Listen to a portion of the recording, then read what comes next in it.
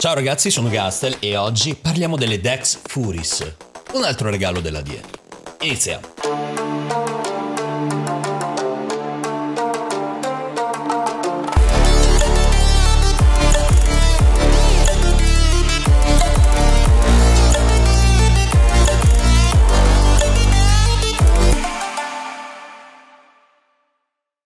Andiamo avanti con la serie dedicata alle Dex. Vi avviso già, sappiate che quando uscirà la Dex d'Acra vi porterò anche quella nonostante saremmo in mezzo al pieno flusso del Duviri Paradox. Non perché non mi attiri questo update, anzi, perché ci sta una coccola ai primini di Warframe e a queste armi targate Dex nascono proprio per questo. Ma non solo, possiamo portare effettivamente le Dex Furies in Steel Path? La risposta non è semplice, diciamo un sì, ma approfondiamo.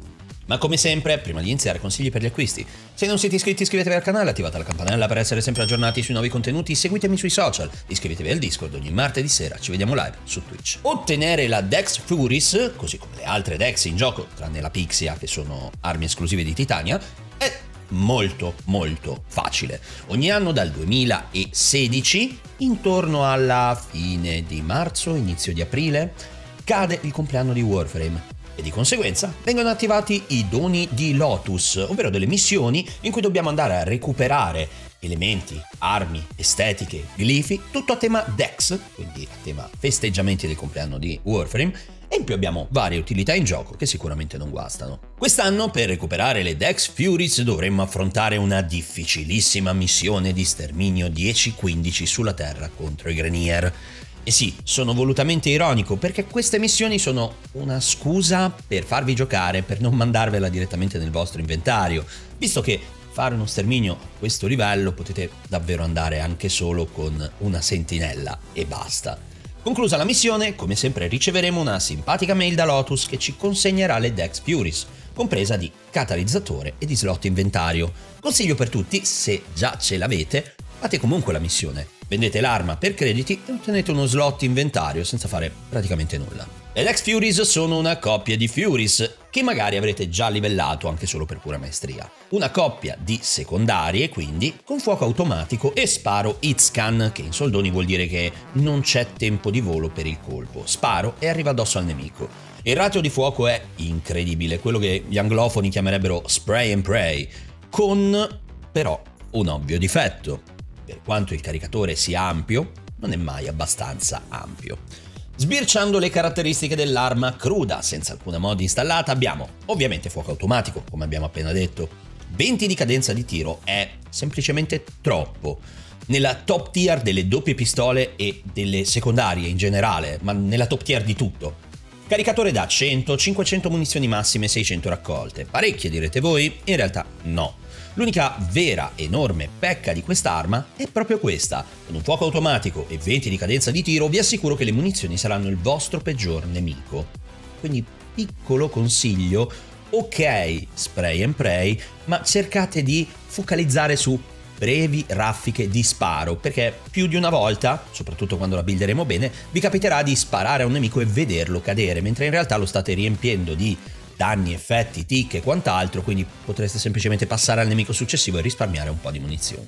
Precisione 15.4, che non è tanto, ma per il tipo di arma che è va benissimo. La maggior parte dei colpi andranno a segno e saranno comunque troppi nel bersaglio per preoccuparsi di quelli persi. La predisposizione Riven è semplicemente favolosa. 5 pallini 1.39.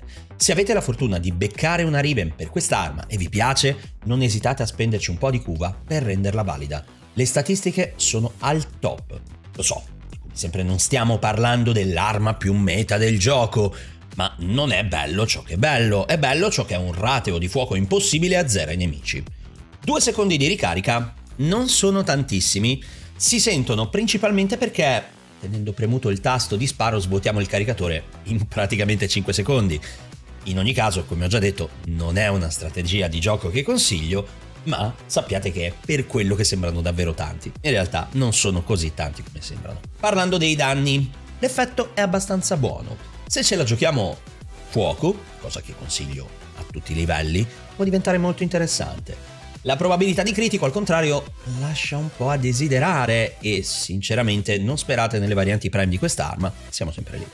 Moltiplicatore accettabile, assolutamente nella media, solito pacchetto di danno IPS con priorità alla perforazione, danno complessivo piuttosto bassino, ma visto il tipo di arma non mi aspettavo niente di diverso. Per capirci, le Tenet Diplos fanno meno del doppio del danno, il succo è che dobbiamo riempire il nemico di colpi. In aggiunta a questo, arma di maestria 10. Non alta, non bassa, ma nonostante sia un toccasana per i principianti, ci toccherà di sbloccare l'Exilus, in caso contrario usarla può essere davvero complesso. Le forme per chi comincia sono giuste. 3-4 forme dovrebbero bastare. So che non sono poche per chi magari sta iniziando adesso a giocare, ma vi posso dire in piena sincerità che non sono neanche tante. E infine, per la categoria chicche, ormai è un must, una piccola perla sulle Dex Furies. Quando è uscita in gioco, il fuoco dello sparo era viola. E basta. Non potevamo cambiarlo, proprio perché è una Dex, proprio perché è Lotus, proprio perché è un regalo della DIE, eccetera, eccetera, eccetera. Poi però hanno pensato, probabilmente, ragazzi, è Warframe, dobbiamo far personalizzare tutto quello che si può personalizzare, quindi adesso possiamo colorarlo come ci pare, cambiando il colore dell'energia. Arriviamo a parlare della build. Come sempre partiamo da una build basic per i nuovi arrivati, per i nuovi giocatori, perché ha aperto Warframe e ha detto wow, c'è una missione che regala un'arma, presto, facciamola. Questa è una build in realtà molto molto semplice. Prima cosa da sottolineare, qui in alto deve esserci scritto 60, se non c'è scritto 60 avete un problema. Normalmente con le armi basic, appena le costruiamo, c'è scritto 30 e per portarle a 60 dobbiamo installare questo che è un catalizzatore Orokin che possiamo ottenere in vari modi attraverso il gioco. Ma la peculiarità delle Dex Furies è che arriva direttamente con catalizzatore e con slot inventario, quindi dovrebbe già essere installato. Al contrario invece questi bei colorini verdi che vedete in alto a destra sopra i numeri sono forme e quelli ci toccherà di metterli perché quest'arma ne è praticamente sprovvista. Per mettere la forma, banalmente, polarizzazione e andiamo a mettere quella che ci piace di più. Consiglio per chi ha la prime armi V. Su questo tipo di armi, sulle secondarie in particolar modo, una V funziona sempre bene. Anche due, anche tre a dire il vero per quest'arma, perché molte delle mod che andremo a mettere saranno polarizzate in questo modo. Mettendo la polarizzazione uguale a quella presente sulla nostra mod, andremo a dimezzarne il costo, il che non è niente male perché ci permette di riempire tutti quanti gli spazi mod a disposizione. Parlando quindi della build, di come andare a costruire un'arma abbastanza letale da poter gestire con questa configurazione, oserei dire addirittura le incursioni. Ma guardiamo nel dettaglio. Prima, Hornet Strike, più danno, nudo, crudo e semplice. È pesantina, è pesantina come tutte le mod di danno da maxare, quindi da riempire di endo e caricare tutti quanti i pallini che vediamo in basso. Se non ce la fate, piuttosto maxate tutte quante le altre, questa lasciatela con qualche pallino dall'alto, funzionerà lo stesso almeno per iniziare. Seconda statistica importantissima, sparo multiplo. Sparo multiplo, come dice la didascalia, il numero di istanze di danno sparate per colpo senza consumare munizioni aggiuntive. Ogni stanza di danno ha la possibilità di applicare colpi critici e effetti. Questo vuol dire che un colpo sparato corrisponde a 2,8 proiettili. Quindi due sicuri e un terzo che potrebbe avere un 80% di saltar fuori ma ognuno di questi colpi avrà effetto moltiplicatore del critico e probabilità di critico, nonché tutto il set di danni. Non è davvero niente male. Per puntare su questa statistica ci vuole Barrel Diffusion, 120% di sparo multiplo. Non è facile da trovare, ve lo dico già. Ho fatto un video completo dedicato a dove trovare le mod più utili all'interno del gioco, ve lo metto in descrizione. In ogni caso, una volta trovata, questa è veramente favolosa. Altra mod che funge ugualmente allo scopo, Lethal Torrent, sparo multiplo e cadenza di tiro che su quest'arma che cosa ve lo dico a fare? È semplicemente favolosa. Passiamo da un 20 a un 32 di cadenza di tiro, quindi massimo proiettili al secondo. 32, sono tantissimi ragazzi, sono veramente troppi. Una volta completata questa parte, ovvero il multishot, passiamo a pompare un po' il critico. Come ho detto, non è la miglior statistica di sempre, anzi, forse non è così efficace pomparlo, ma in ogni caso arriviamo ad avere un 30% abbondante che nel caso in cui procchi è comunque un vantaggio. Per quanto riguarda il critico, abbiamo due mod solitamente, Target Cracker e Pistol Gambit, rispettivamente per aumentare il danno critico e la probabilità di critico. Qual è il problema?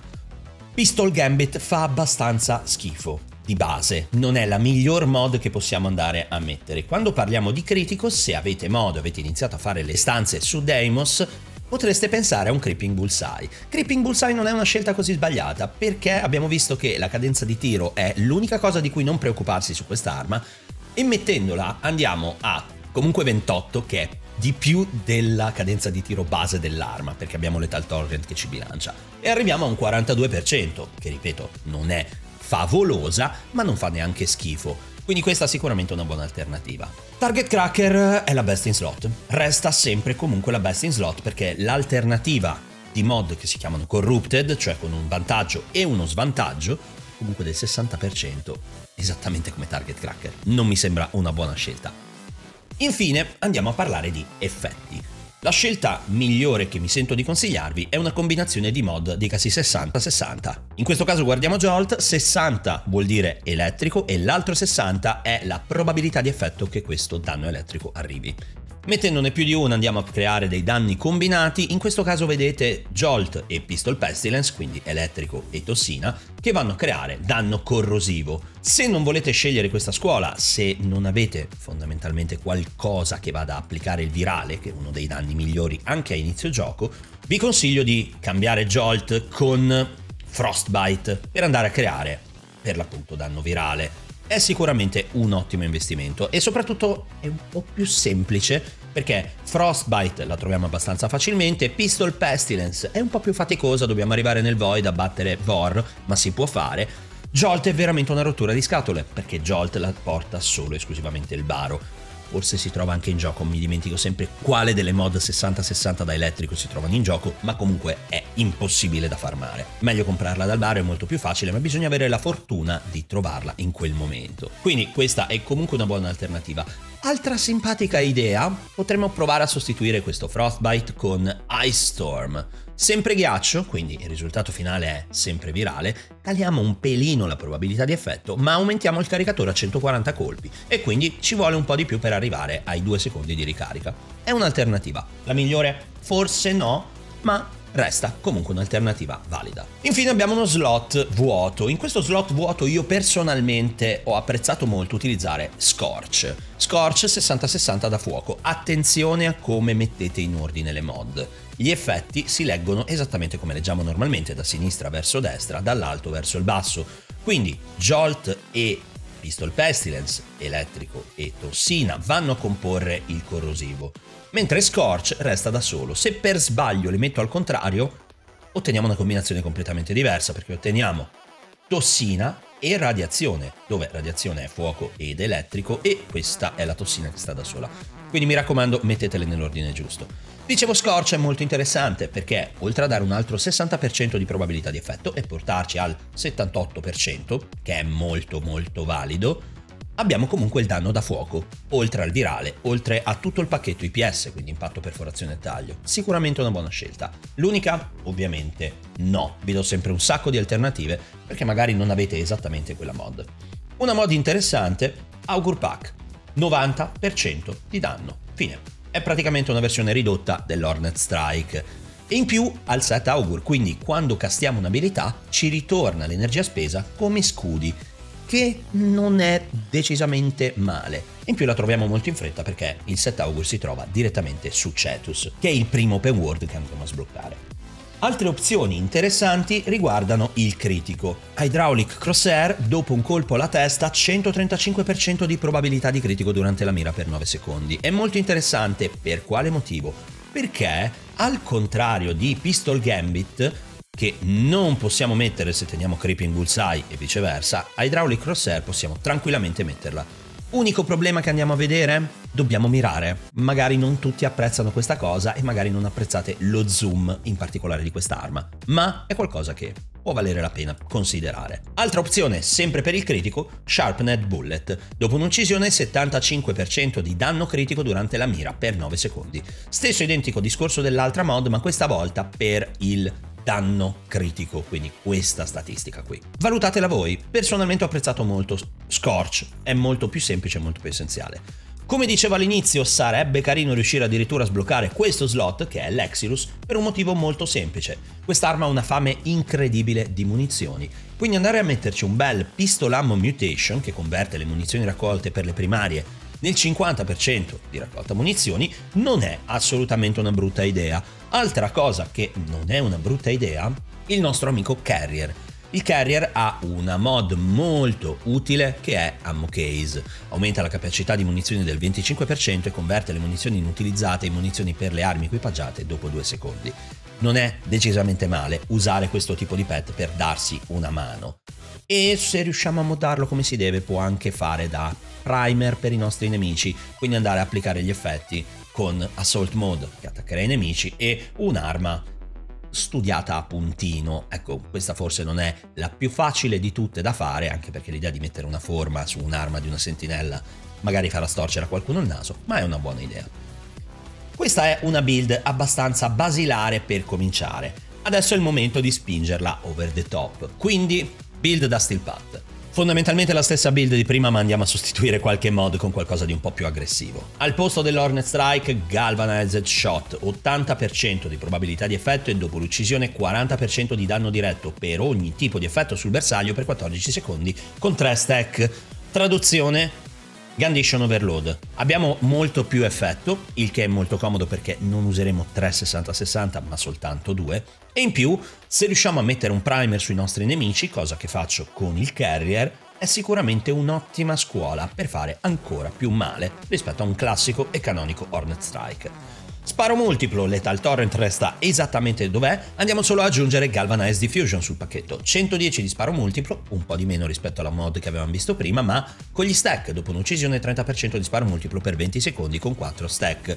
Molto utile, molto interessante. Per quanto riguarda il critico, ovviamente Prime Target Cracker, la versione migliorata di Target Cracker ci darà il 110% di danno critico, per quanto riguarda la probabilità ci sono due scuole. Quindi abbiamo Primed Pistol Gambit, che sono 187% di probabilità di critico. Punto. Pulite, chiare, attive sin dal primo momento in cui spariamo il primo colpo. Oppure Galvanized Crosshair. Dopo un colpo alla testa, 120% di probabilità di critico durante la mira per 12 secondi. E fin qua siamo nella parte bassa, ma dopo un'uccisione colpo alla testa, abbiamo il 40% di probabilità del critico durante la mira per 12 secondi e a 5 stack. Sulla carta funziona un po' meglio. Dipende sempre da come vi piace giocarla. Questo vuol dire che dovrete passare tutta la partita a mirare e a colpire la testa.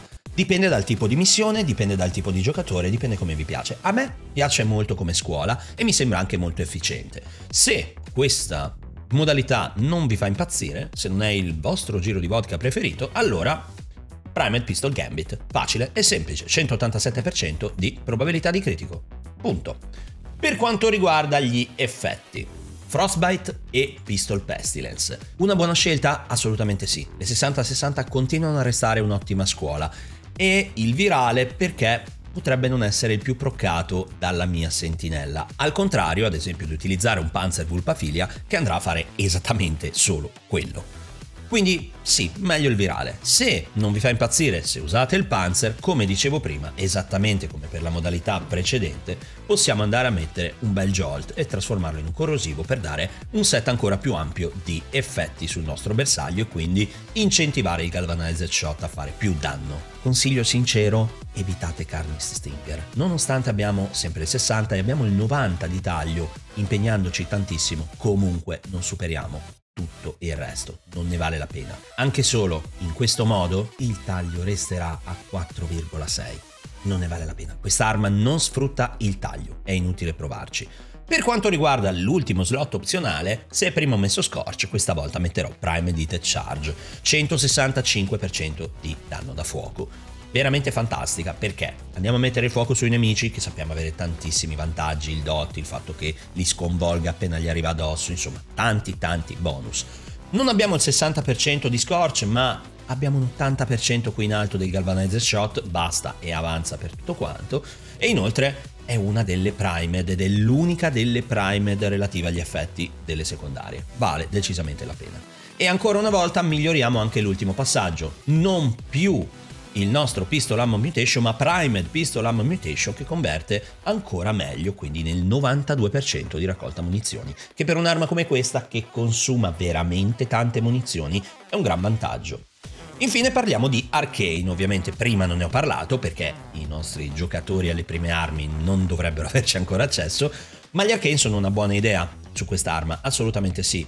Ovviamente Merciless, Deathhead funzionano sempre bene. Deathhead in questo caso può addirittura funzionare nonostante il danno da fuoco ogni tanto vada a rubarci qualche kill, comunque non è un'arma da taglio, quindi sì, possiamo farcela ad attivare questo stack ogni 24 secondi è possibile. Abbiamo inoltre un danno aumentato, ok, un moltiplicatore sul colpo alla testa, ok, un po' meno rinculo che sicuramente non fa male su quest'arma, anche se non è il problema più grave. Oppure possiamo andare con un banale merciless, quindi 30% per 4 secondi con 12 stack e aumentiamo la velocità di ricarica. Sono tutte e due due scelte che posso appoggiare. Personalmente mi sono però divertito molto di più con Cascadia Flare. Avendo un ratio di fuoco così alto, gli effetti di fuoco verranno applicati a una velocità tale che il nostro 480% di danno aggiuntivo sarà sempre attivo. Non faremo un colpo senza avere questo bonus. Un bel vantaggio. Personalmente una buona idea, vi consiglio di provarlo se non altro. Queste sono le Dex Furies. Sono molto divertenti. Escludendo tutto il discorso legato ai giocatori alle prime armi che si ritrovano con un'arma già catalizzata, con uno slot inventario, con 3-4 forme da mettere e già pronta per essere usata, magari non come unica arma del gioco, ma come accompagnamento a una buona primaria e una buona corpo a corpo, beh, sicuramente per loro è un vantaggio. Per i giocatori di livello alto è un'alternativa divertente, perché alla fine riesce comunque a tenere il tiro, ok? non stiamo parlando di un'arma top tier, non stiamo parlando di un'arma che può azzerare qualunque nemico, ma è divertente.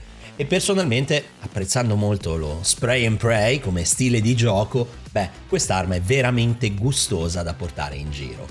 Chiaro, esistono alternative più valide, esistono soluzioni migliori per annientare i nemici in un solo istante, ma ogni tanto apprezzo divertirmi con qualcosa di un po' fuori meta e quindi giocare un po' con armi che non sono proprio il classico cliché del sono entrato in missione e ho distrutto qualunque cosa appena ho buttato un piede nella stanza.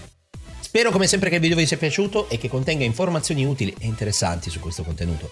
Se il video vi è piaciuto come sempre mettete il like, iscrivetevi al canale, attivate la campanella per essere sempre aggiornati sui nuovi contenuti. Seguitemi sui social, iscrivetevi al Discord ogni martedì sera. Ci vediamo live su Twitch. Ciao.